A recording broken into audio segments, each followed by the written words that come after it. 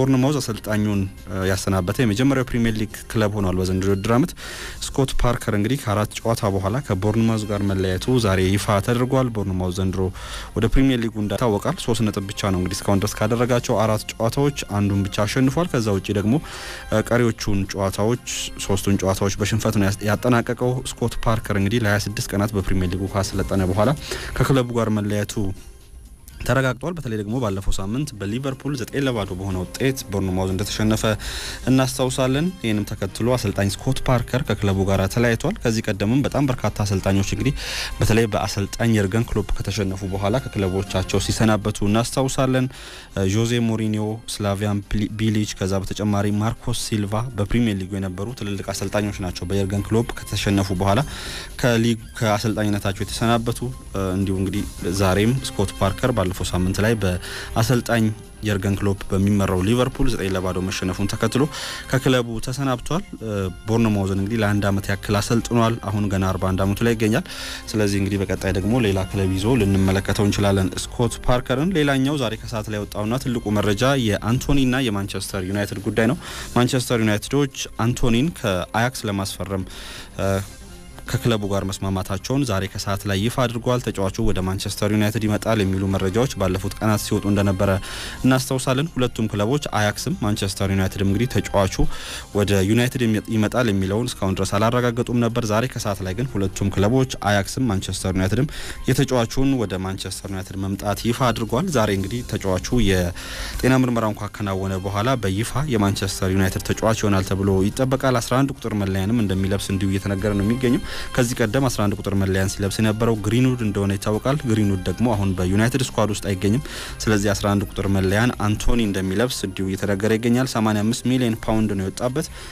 ከኤርዲቪዜ ወደ ሌላ ሊግ ካመሩ ተጫዋቾች ውስጥ በጣም ከፍተኛ ገንዘብ የወጣበት ተጫዋች ሆኖ ነው ወደ ዩናይትድ የሚመጣው። በዩናይትድ ታሪክም ሶስተኛው ውዱ ፈራሚ ሆኖ ለዩናይትድ ይፈርማል። ሮሜሉ ሉካኩና ፖል ፖግባ ብቻ ናቸው ከዚህ ቀደም በከፍተኛ ገንዘብ ወደ ዩናይትድ የመጡት። ስለዚህ አንቶኒ ሶስተኛው የማንቸስተር ዩናይትድ በዚህ ክረምት ደግሞ የኦልትራፎርዱን ክለብ የተቀላቀለ አምስተኛው ፈራሚ መሆኑ እንዲሁ ይረጋገጣል ዛሬ ምሽት ላይ ተብሎ ይጠበቃል። የማንቸስተር ዩናይትድ የወሩ ምርጥ ተጫዋች እጩዎች ዛሬ ይፋ ተደርገዋል።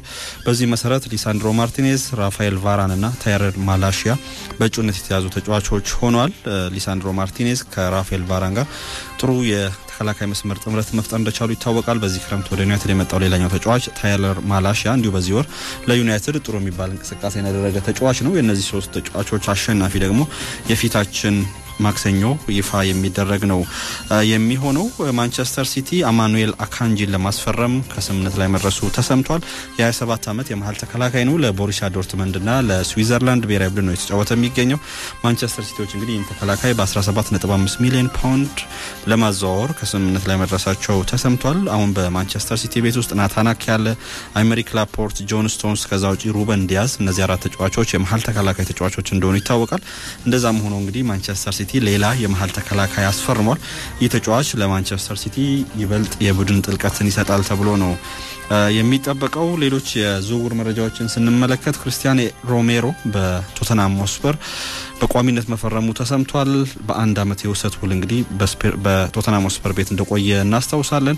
32 ጨዋታዎችንም ለቶተናም ሆስፐር ማድረግ ችሏል። አሁን ላይ ከአታላንታ በቋሚነት ለቶተናም ሆስፐር ፈርሟል። እስከ 2027 ድረስም በዛው በስፐርስ የሚያቆየውን ውል መፈረሙ ተሰምቷል። አንቶኒ ኮንቴ በተለይ ሶስት ተከላካዮችን እንደሚጠቀሙ ይታወቃል።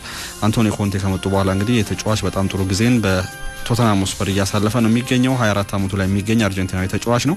ይህ ተጫዋች እንግዲህ እስከ 2027 ድረስ በቋሚነት ለቶተናም ስፐር ለመጫወት ፈርሟል። ከዚሁ ከቶተናም ስፐር ጋር በተያያዘ ሌላ መረጃ ሰርጂዮ ሬጉሊዮን ወደ አትሌቲኮ ማድሪድ ማቅናቱ ተሰምቷል። በአንድ ዓመት የውሰት ውል ነው ወደ አትሌቲኮ ማድሪድ ያቀናው። በአንቶኒዮ ኮንቴ እንደማይፈለግ ይታወቃል። 25 ዓመቱ ላይ የሚገኝ የግራ መስመር ተከላካይ ነው። 2020 ላይ ለቶተናም ስፐር እንደፈረመ እናስታውሳለን። አሁን ላይ እንግዲህ ወደ አትሌቲኮ ማድሪድ አቅንቷል። ከዚህ ቀደም ለሪያል ማድሪድ እንደተጫወተ ይታወቃል። በሪያል ማድሪድ ቤት ውስጥ ያደገ ተጫዋች ነው።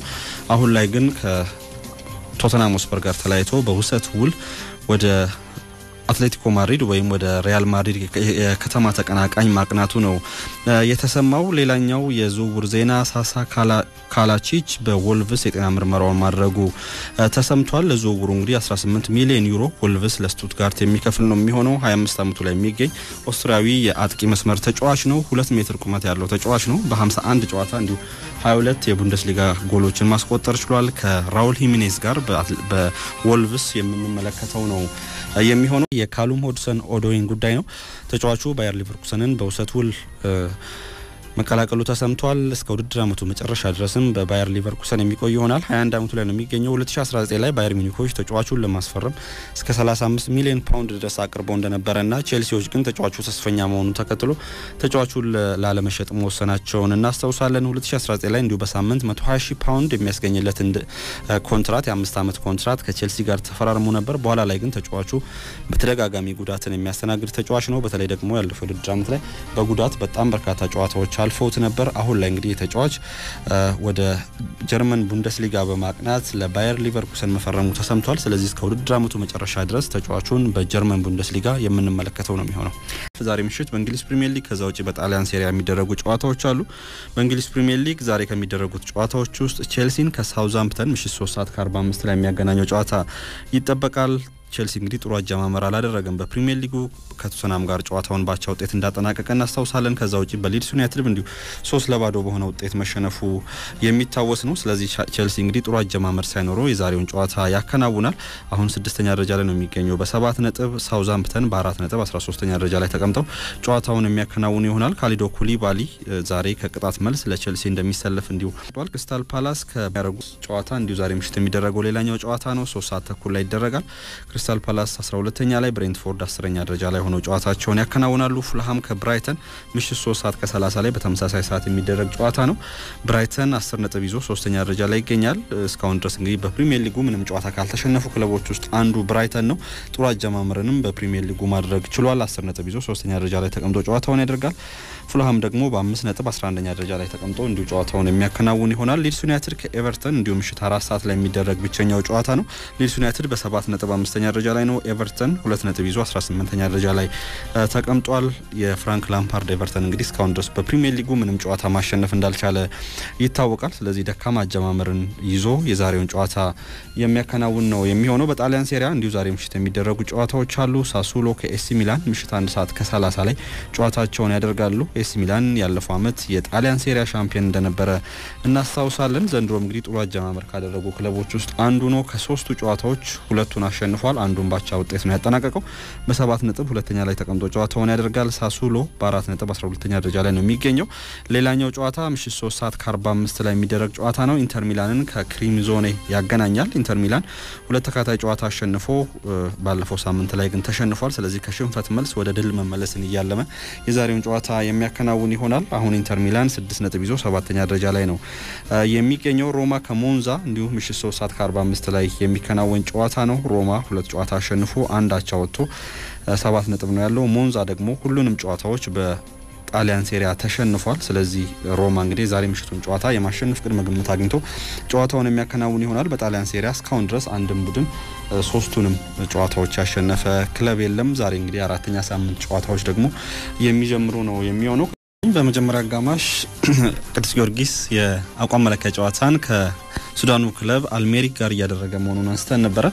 ይህ ጨዋታ አሁን ተጠናቋል። ቅዱስ ጊዮርጊስ ጨዋታውን ሶስት ለአንድ በሆነ ውጤት ነው ያሸነፈው አማኑኤል ተርፋ፣ ቢኒያም በላይና እስማኤል አውራ ጎሮ የቅዱስ ጊዮርጊስን ሶስት የማሸነፊያ ጎሎች ያስቆጠሩ ተጫዋቾች ናቸው። ቢኒያም በላይ በዚህ ክረምት ወደ ቅዱስ ጊዮርጊስ እንደመጣ ይታወቃል። የመጀመሪያ ጎሉንም እንግዲህ ዛሬ ለቅዱስ ጊዮርጊስ ማስቆጠር ችሏል። በብሔራዊ ቡድን የተመረጡ ተጫዋቾች እንዲሁ ወደ ቅዱስ ጊዮርጊስ መጥተው በዛሬው ጨዋታ ላይ ተሰልፈዋል። በቢሾፍቱ ክቡር ይድነቃቸው ተሰማ አካዳሚ የተደረገ ጨዋታ ነው። ጨዋታውን እንግዲህ ቅዱስ ጊዮርጊስ ሶስት ለአንድ በሆነ ውጤት ማሸነፍ ችሏል።